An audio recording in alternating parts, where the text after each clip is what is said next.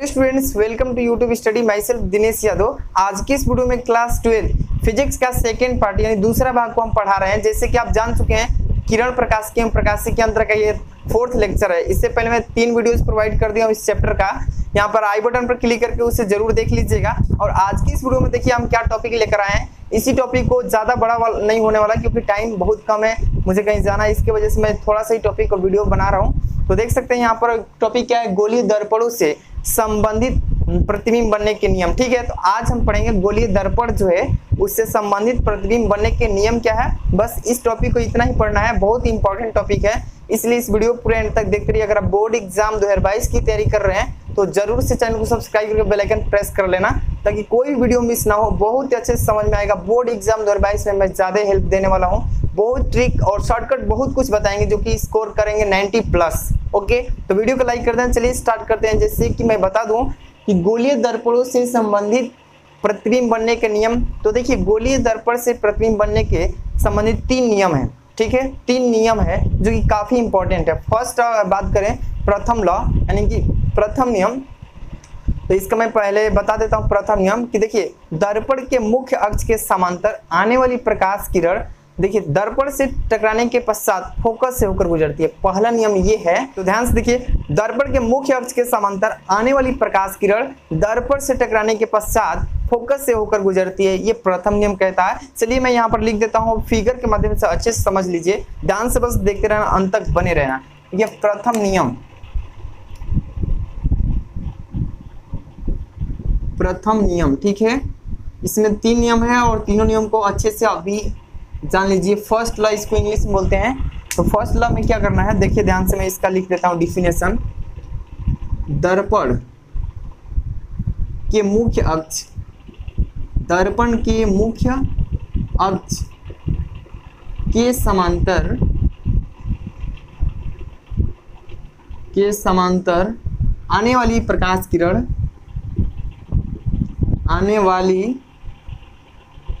प्रकाश प्रकाश, किरण, दर्पण, यहाँ पर किरण है, ठीक है?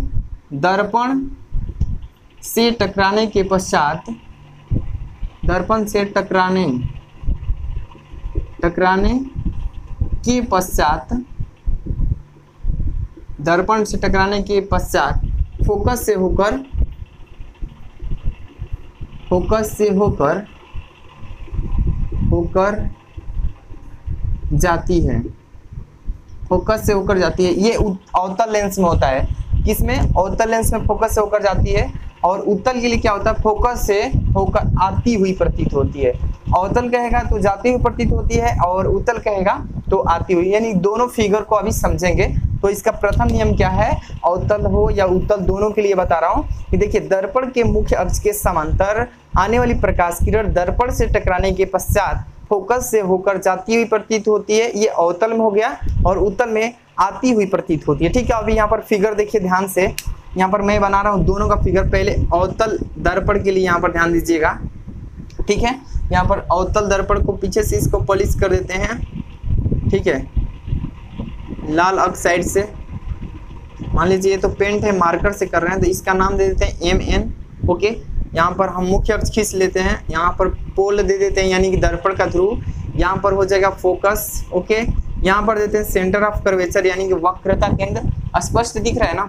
अब देखिए, जो क्या है ना कि वस्तु से प्रकाश आएगा, ये दर्पण के मुख्य अक्ष के समांतर आएगा। तो पहला नियम में बताया जा रहा है कि वस्तु से आने वाला प्रकाश मुख्य अक्ष के समांतर आने के बाद दर्पण से टकराएगा तो कहाँ से गुजरेगा? सीधे फोकस से ऊपर जाएगा।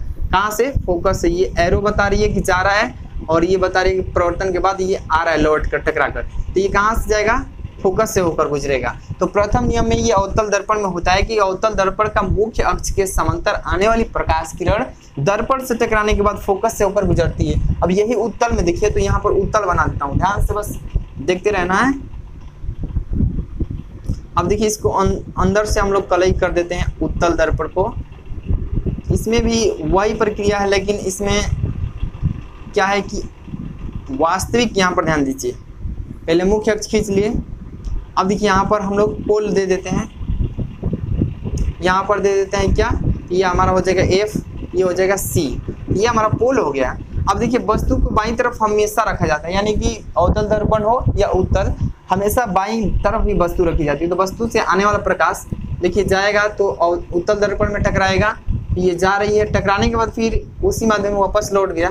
ये तो लौट रहा है, लेकिन इसका जो प्रतिबिंब बनेगा फोकस पर बनेगा, पीछे की तरफ़ आती हुई प्रतीत होगा, ये इसे हम डाट डाट करके आभासी दर्शाते हैं इस तरीके से, ठीक है? डाट डाट करके ऐसे आभासी। तो ये हो गया प्रथम नियम। ध्यान से देखिएगा प्रथम नियम में बस ध्यान रखिए, दर्पण के मुख्य अक्ष के समांतर किरण आएँगी, दर्पण से टकराने के बाद फोकस से होकर जाती हुई प्रतीत होगी अवतल में और आती हुई प्रतीत उत्तल में, ओके? सेकंड नियम पर चलते हैं। इसको पहले मिटा लेते हैं, ठीक है? स्क्रीन शॉट लेना है तो ले सकते हैं, ओके? अब देखिए हम नेक्स्ट जो हमारा सेकेंड नियम तो सेकेंड नियम को भी देख लेते हैं, ओके? तो द्वितीय नियम। द्वितीय नियम। ध्यान दीजिएगा, द्वितीय नियम में क्या होता है? सेकेंड लॉ में तो ध्यान दीजिए क्या बताएँगे कि दर्पण के मुख्य फोकस से होकर आने वाली प्रकाश किरण दर्पण से टकराने के पश्चात मुख्य अक्ष के समांतर वापस लौट जाती है, जो दूसरा नियम होता है। इसका भी फिगर बनाकर समझ लेते हैं, पहले अवतल और उत्तल। देखिए ध्यान से। यहाँ पर पहले इसका परिभाषा मैं लिख देता हूँ, ठीक है? तो देखिए, दूसरा, दर्पण के दर्पण के फोकस फोकस से होकर से होकर जाने वाली जाने वाली प्रकाश किरण प्रकाश किरण दर्पण से दर्पण से टकराने टकराने के पश्चात, टकराने के पश्चात मुख्य अक्ष मुख्य अक्ष के के समांतर समांतर वापस वापस लौट आती है। वापस लौट जाती है, पहले लिख लो। ये जाती है अवतल के लिए और लौट आती है उत्तल के लिए। तो दोनों अभी हम फिगर समझ लेते हैं, ठीक है?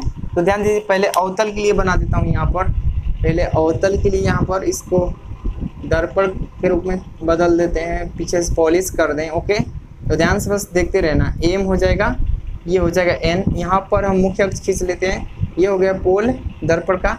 ये हो गया फोकस ये सेंटर ऑफ़ कर्वेचर ओके तो इसमें क्या बताया है कि दर्पण के फोकस से होकर आने वाली प्रकाश किरण दर्पण से टकराने के पश्चात मुख्य अक्ष के समांतर हो जाएगी ओके तो देखिए, यहाँ से आएगा। मान लो यहाँ पर वस्तु रखे हैं। तो यहाँ से वस्तु आएगा, प्रकाश आएगा वस्तु से तो यहाँ फोकस से होकर जाएगा। फोकस से हो गया।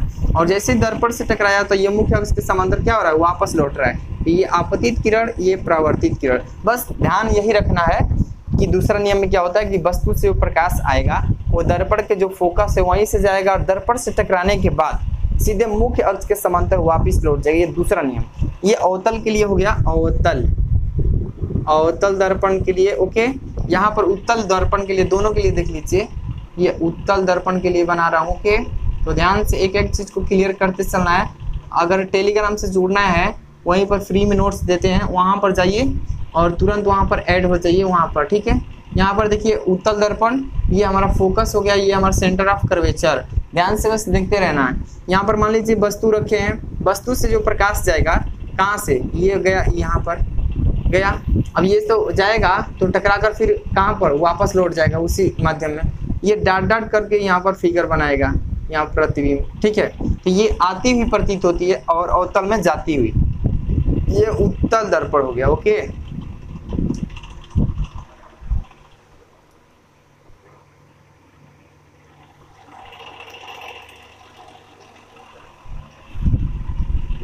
इसको एरो बना देता हूँ, ठीक है? ये जाती हुई प्रतीत हो रही तो अगर इसके स्क्रीन शॉट लेना चाहते हैं सेकेंड नियम का तो ले सकते हैं। इसके बाद अभी हम चलेंगे थर्ड नियम पर ओके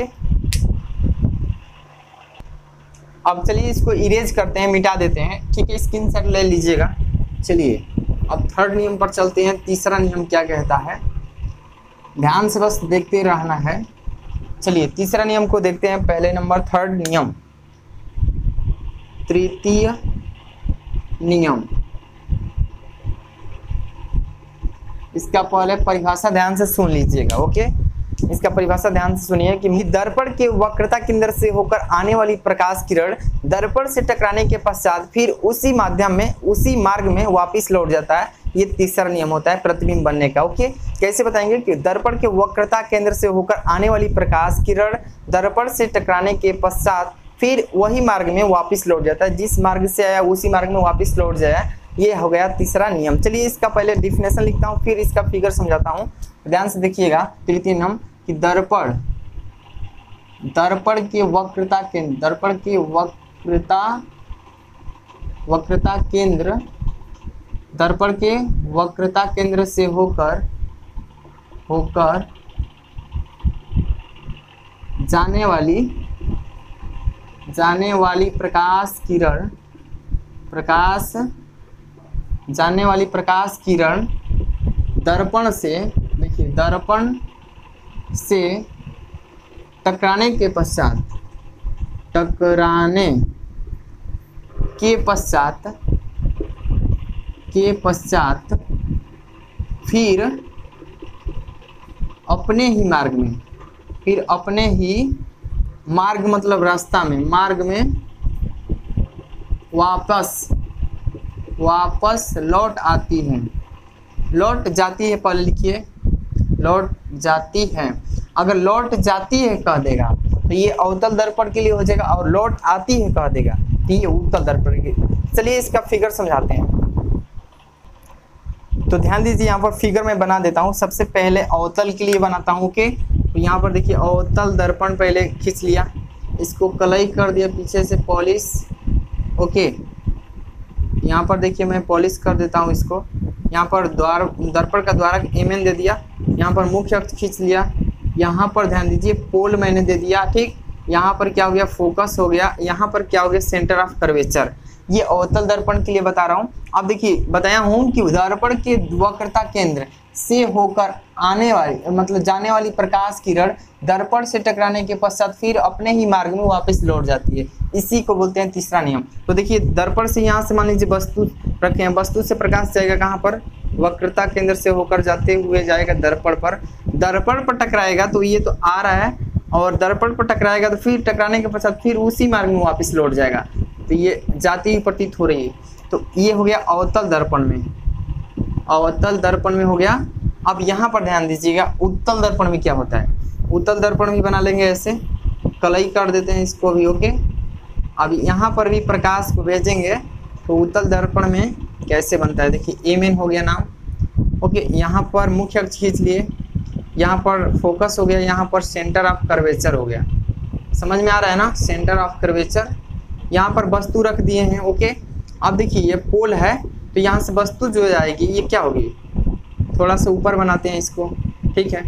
अब देखिए, वस्तु से प्रकाश जाएगा सेंटर ऑफ़ कर्वेचर होते हुए जाएगा तो ये जाएगा तो यहाँ पर जाती हुई प्रतीत हो रही है, फिर यहाँ पर से वापस लौट रही है, लेकिन ये आभासी जाता हुआ प्रतीत होगा, कहाँ पर? सेंटर ऑफ़ कर्वेचर पर, समझ में आ रहा है ना? तो यही है तीसरा नियम ध्यान से इसका कि दर्पण के वक्रता केंद्र से होती हुई प्रकाश किरण जाएगी और दर्पण से टकराने के पश्चात फिर अपने ही मार्ग में वापस लौट जाएगी। अपने ही पथ पर, मार्ग नहीं बोलेंगे, पथ पर वापस लौट जाएगी। इससे बोलते हैं मतलब प्रतिम बनने के नियम में तीसरा नियम ओके तो आज की इस वीडियो में बस इतना ही बताने वाले थे, क्योंकि टाइम थोड़ा कम है, कहीं जाना है, इसके वजह से। इस वीडियो को लाइक कर देना, पसंद आया हो तो कमेंट करके बताना, और चैनल पर नया तो सब्सक्राइब करके बेलाइकन प्रेस कर लेना। एक भी वीडियो मिस ना हो, मिलते हैं नेक्स्ट वीडियो में। जल्द से जल्द और भी बच्चों को जुड़िए चैनल से, नए बच्चों को। मिलते हैं नेक्स्ट वीडियो में थैंक्स फॉर वॉचिंग